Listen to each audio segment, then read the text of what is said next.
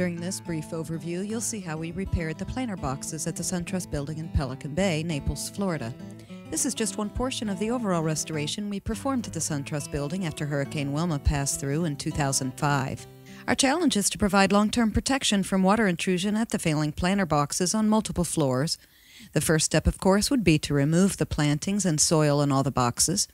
We then scrape the interior of the boxes clean. And as you can see here, the failing areas that allowed for water intrusion, causing much interior damage.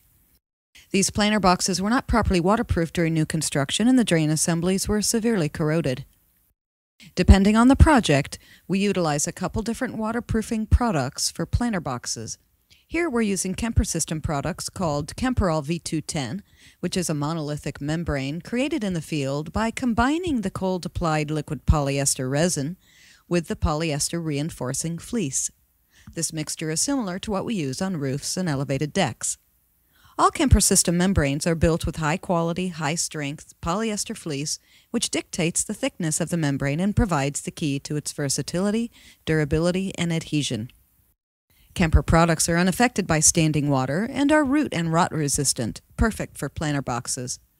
Most competitors' products use a random glass fiber reinforcement or none at all.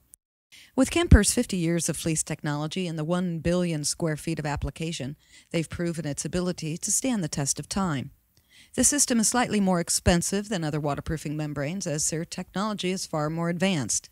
And you get what you pay for proven protection with sufficient warranties by us and the manufacturer.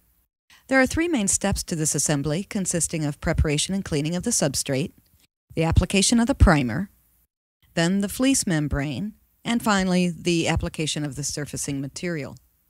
The process of preparing the surface is meticulous and includes extensive cleaning, any repairs that are needed to the surface, and the sealing of all transitions or corners, and also the penetrations, in this case, the drain assemblies.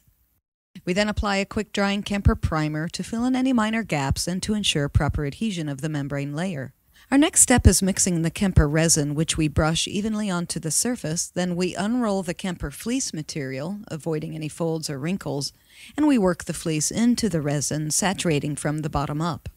We use an adequate number of skilled workmen who are thoroughly trained and experienced in this craft and completely familiar with the specified requirements and methods needed for optimum performance.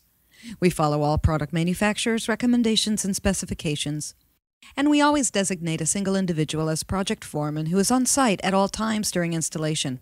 Usually Ed Clark, who is our senior waterproofing mechanic, who's been with us for almost 20 years.